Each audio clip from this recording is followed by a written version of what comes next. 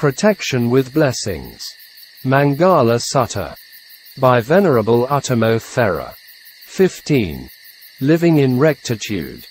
Rectitude is quality or attitude that makes people behave honestly and virtuously. Here is living by the wholesome dharmas, the ten wholesome courses of action. Then Kusala dharmas have already mentioned in the ninth blessing, well-mastered disciplines. In the world, the best protection is one's own wholesome dharmas. In the world, why all living beings are quite different from each other. Please do not say about other types of living beings, even in humans themselves. Because of their views, thinking, and actions are quite different. Not all of them have the same qualities and attitudes. Therefore, Living beings are different because of the results of their different kammas. It is interesting to read and contemplate the Vibhanga Sutta, number 135, in the Majjhima Nikaya, Minnesota 135. In the Vibhanga Sutta, the shorter analysis of action, Subha, Todeyya's son went to see the Buddha. He said to the Blessed One, Master Gotama, what is the reason, what is the cause, why baseness and excellence are seen along human beings, among the human race? For short-lived and long-lived people are to be seen, sickly and healthy, ugly and beautiful, ineffectual and influential, poor and rich, low-born and high-born, stupid and discerning people to be seen. The Buddha answered him, Subha, Beings are owners of their actions, born of their actions, related through their actions, and have their actions as their arbitrator. Action is what differentiate beings in terms of baseness and excellence. Subha did not understand the detailed meanings of them and requested the Buddha to explain in details. There is another discourse on Kamma, the Mahakamma Vibhanga Sutta, number 136. Kamma and its results are difficult to foresee. The workings of Kamma are strange and surprising. Therefore, the law of action, Kamma, is very important for living beings, especially for a human. Law of cause and effect covers all types and kinds of living beings. The man understands it and living accordingly with the wholesome dharmas will become a good person with the wholesome life. This is the way of protecting oneself and others. Then, human existence is beneficial and fruitful. Even, we can say education on law of action is the basic education for man. In the Digha Nikaya, long discourses of the Buddha, there is a discourse called Lakkhana Sutta, Sutta no. 30. Physical marks of a great man. There, the Buddha mentioned the 32 bodily marks of a great man. Only two persons could have it. A Buddha and a universal monarch. But these marks on a Buddha were clearer and distinct than the other. These marks on the Buddha came from the results of meritorious deeds previously cultivated by the Bodhisattva for many lives. These acts were the ten paramis, perfections. Here, I will mention the first and second marks only, which were connecting the actions, causes, and the results, effects. The first mark, the lowest part of the feet were full and leveled without any depression. Therefore, the Buddha's footprint was appearing full and completed on the ground. This mark appeared on the body because the Bodhisattva cultivated wholesome meritorious deeds with firmness and confidence. Kept his words, never broke the promises, never gave up and in low spirit. Completed with this mark no internal and external enemies, kilesa and beings, and dangers could make him trembled. It gave him the stable results and respected by beings. He had stable sila, samadhi, and panna. The second mark, the Buddha had the wheel symbols on both of the lowest part of the feet. In his many past lives, the Bodhisattva was giving himself for the happiness of others and helping to dispel others' fear and dangers. While he was performing dana and enriching with other things. As an example, when he was offering a building together with other things such as bed, chairs, table, etc. He was doing every dana always in this way. Because of this meritorious deed acquired these marks. With this mark and the result was, the Buddha had human followers of four types, bhikkhus, bhikkhunis, laymen and lay women and other beings, deities, divines, Brahma gods, asuras, etc. Here my emphasis is not for the physical characteristics. The emphasis is on the importance of humans' thinking, verbal and physical actions which affect the physical world internally and externally. These things were already mentioned by the Buddha over 2,500 years ago. Nowadays scientists also confirm it by experiments and research. For example, they played different kinds of music to the flower plants and observed its changes. The most well-known research for many years was by a Japanese scientist. He was also using different kinds of music, sounds, visual images, letters and words which had good meanings and bad meanings, etc. With water. Later he observed the changes of water crystals under the powerful microscope. The water crystals were changing accordingly with different sounds and visual images. Wholesome sounds and images created beautiful water crystals. The unwholesome ones created ugly, broken, distorted water crystals which were difficult to see. There was a remarkable documentary film about a Chinese man in the N.E. of China.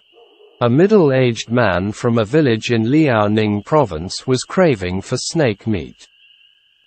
He killed them and ate them for some years, maybe also in a very cruel way. One day his body was starting to show illness.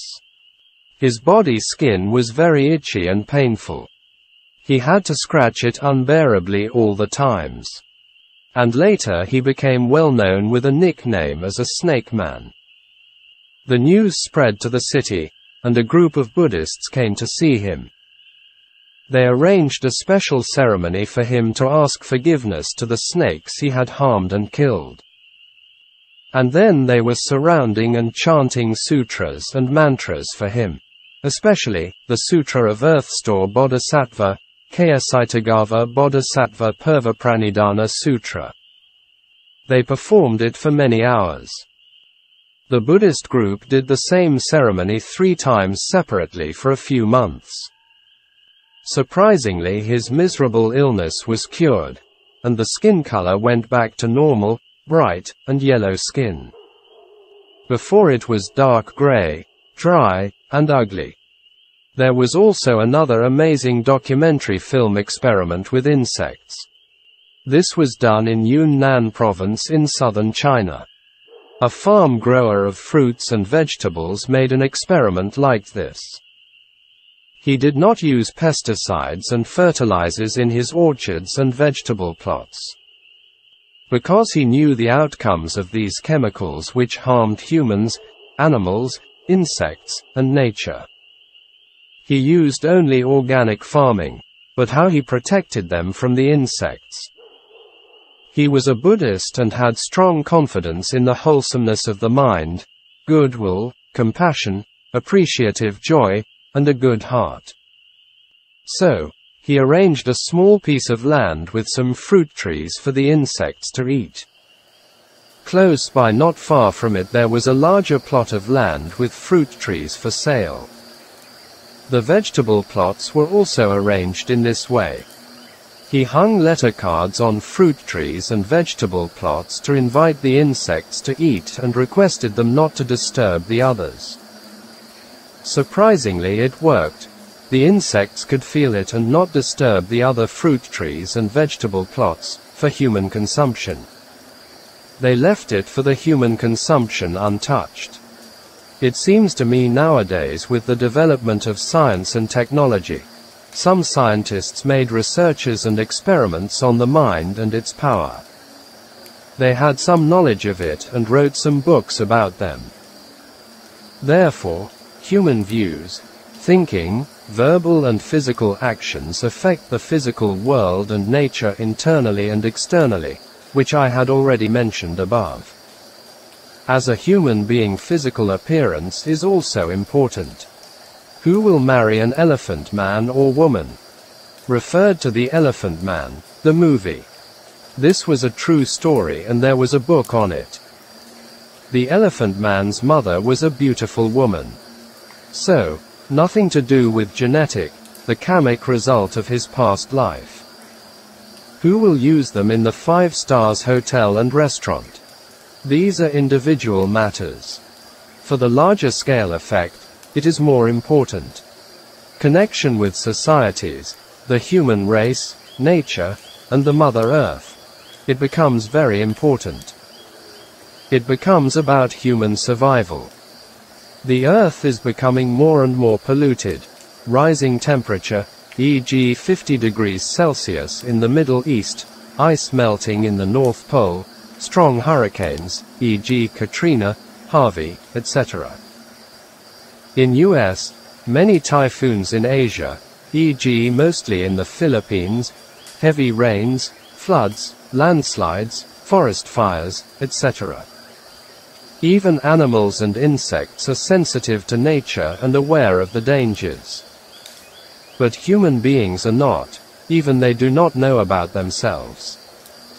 Scientists make a lot of researches and experiments on the external world but they do not know their minds.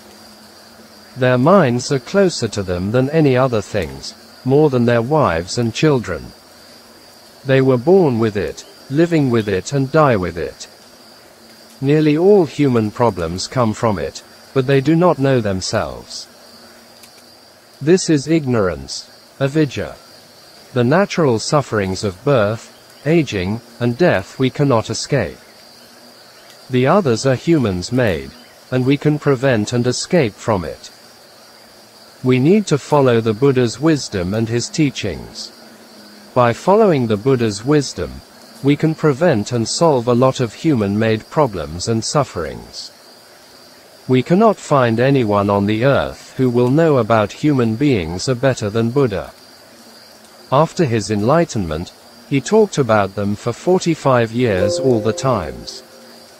If we know and understand the Buddha's teachings, then we can live our life by the wholesome Dharma. This way of life is living in rectitude and righteousness. This way of life benefits oneself and others, also it protects oneself and others. And after death, no one will become a naked person, empty person. This is a real blessing. The Buddha declared it very clear that anyone who practiced the Dharma, and it would protect him. The Dharma here was wholesome Dharma, the positive ones and not the unwholesome Dharma, which is the negative one. Still, it comes back to the law of action, cause and effect. Therefore, someone is practicing Dharma at least has three results. 1. You look after and protect yourself from dangers. 2. It can bring you happiness. 3. After death will not fall into painful existences. There is a good Jataka story for contemplation on these points. This was Dharmapala Jataka. No. 447. In ancient time, Sink country had a village named Dharmapala. The Bodhisattva was also called Dharmapala, Dharmapala Kumara, the son of the village headman. He went to Taxila, Takasila, for education. His teacher's son suddenly died at a very young age. Therefore, the family members and the students there were suffered from sorrow, pain, and grief. Dharmapala saw this event and became very surprised about it because it was not the time for death at this very young age, in his village.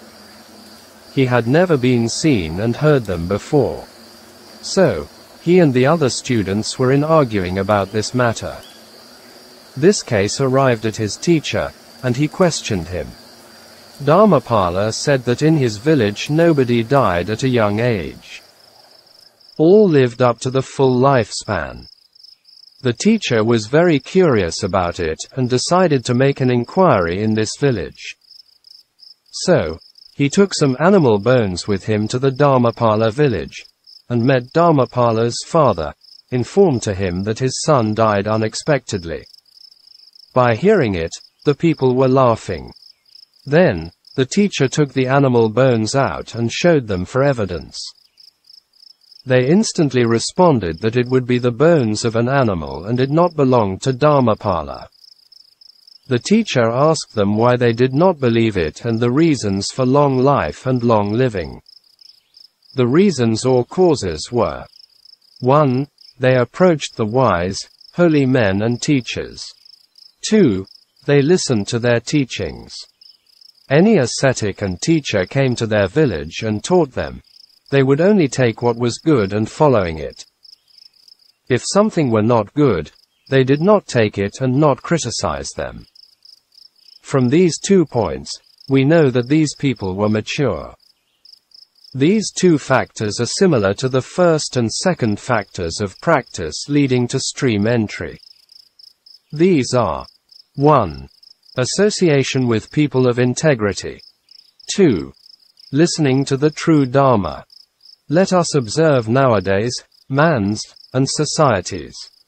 Do they have the standards and intelligence like Dharmapala villagers, or what the Buddha wanted them to be?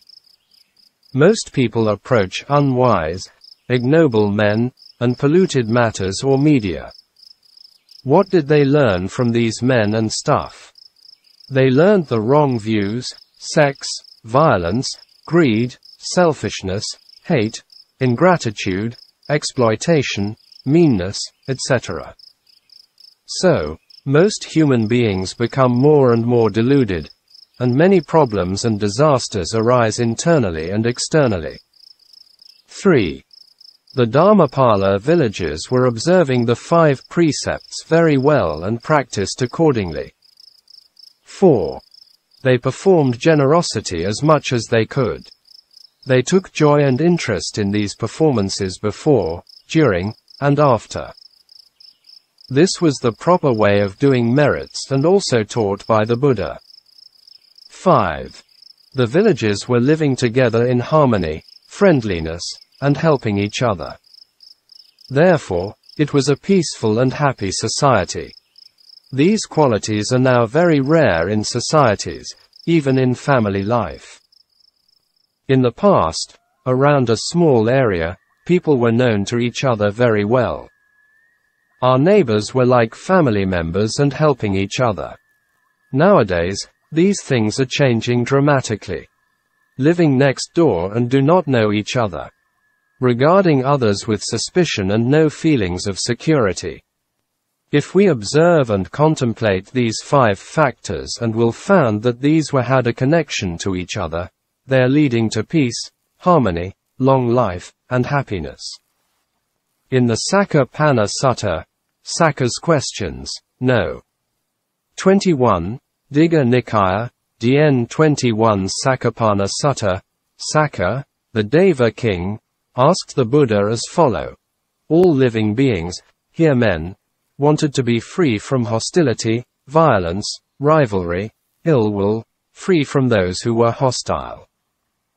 These were also meant long life, healthiness, and happiness. But the beings were not fulfilling these wishes. What were the reasons behind that? The Buddha answered to this was, beings were fettered with envy, stinginess, and avarice, selfishness, which was why they lived in hostility, violence, rivalry, ill will and with those who were hostile. These two unwholesome mental states are interesting. It represents lobha and dosa, greed and hate.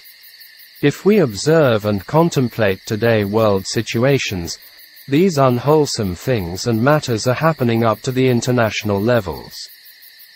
E.g., The unwholesome competition between Russia and US on the weapons of mass destruction. The trade war between China and US. And also US with other countries. Even sports are becoming unwholesome competitions, unlike in the past. It becomes businesslike, full of corruptions and gambling. In some countries political parties are fighting each other for power and using many dirty tricks, even some superpowers are in this group. They were exploiting the citizens just for their power and greed. If they concern for the country and people no need to fight for power, whoever wins is the same, even have to support the winning party for the welfare of the people. The Buddha also taught people on the important role of political leaders. In ancient time were emperors and kings, and governments. Bad leaders and governments, i.e., immoral people, their behaviors and acts affect the citizens and nature and leading to dangers, such as drought, famine, wars, and diseases, etc. Regarding these disasters, even the Buddha said that people would not believe him what he had said. This point was not difficult to understand. Even most human beings do not understand themselves. To understand and see these things which are not within their knowledge. Human knowledge is very limited. If we observe and contemplate the provinces of economics and sciences, technologies, there are also problems created by some economists and scientists. The main problems are unsustainable economic policies and scientific inventions. The main culprit is craving, greed, overindulgence, tanha, with ignorance or deluded mind, which cannot discern things. These are our greatest enemies, the inner ones. More destructive than any external one, even than natural disasters which are also caused by these enemies. Greed, hatred, and delusion, wrong views, are the weapons of mass destruction, WMD, and not Saddam Hussein or Gaddafi or Osama bin Laden or other people. They are already inside us or in each one of us. If writing about the current situation on nature, politics, economics and science and technology, and there are a lot of problems in these provinces. If we study, observe and contemplate and can see them very clear. The Buddha said that the source of suffering was greed underscore underscore craving, it including hatred for sure, both as the two sides of a coin. Combine with wrong views, and it becomes WMD but humans take them as their best friends. They are nourishing and developing them in their whole lives. Many years ago, there was a Hollywood movie called The Man with the X-Ray Eyes. The actor was Ray Milland, who was a scientist in it. He was researching a chemical liquid which could be used as the X-ray. After he had found it and used it on himself, he was using it as an eye drop. What he found out was made him happy and a lot of joy. He could see men and women naked bodies after using some drops. At the beginning, with desire and craving, he was happy with it. In the long run, it caused a problem and distraction like a drug addict. After sometimes, by using the X-ray eye drops, his eyes were starting showing the signs of degeneration. He could not see naked women anymore and instead of their skeletons. And then later he only saw the bright light. This made him unbearable and ended up destroying his own eyes. There are some important and valuable lessons we can gain from it. The scientist's motivation was not good. In the same way some economic policies and scientific researches and inventions were not good. It brought up more problems than solved the problems because these were based on greed and selfishness. There is a lot of envy and avarice going on in politics, economics, and knowledge on science and technology. There is also protectionism on economics and sharing of knowledge. These are the signs of greed and selfishness, which lead to distrust and disharmony among countries and problems. Greed never brings satisfaction and happiness. If greed is greater and greater, it brings more problems and sufferings. It is like a balloon if put in more and more air and it bigger and bigger. With over limit and then it explodes. We can see the effects of human greed and craving on Earth, in societies and nature. Climate changes and the temperature rising is now close to the limits. Therefore, we saw a lot of natural disasters. Hurricane Harvey was a very good example, i.e., happened in America in 2018. And then, we heard and knew some human health problems connecting with food chains, which were polluted by chemicals and other pollution, i.e., air, water, etc. Now even we heard some news about young girls as young as 10 years old had childbirths. Even these kinds of things mentioned by the Buddha a long time ago and difficult to believe it. Now it comes true. It is important to know roughly about our inner enemies of greed, hatred, and delusion, ignorance. If we like something, then it becomes greed and do not like it and becomes hatred aversion. So, hatred can be grouped into greed. We do things blindly because we do not know the outcomes of it.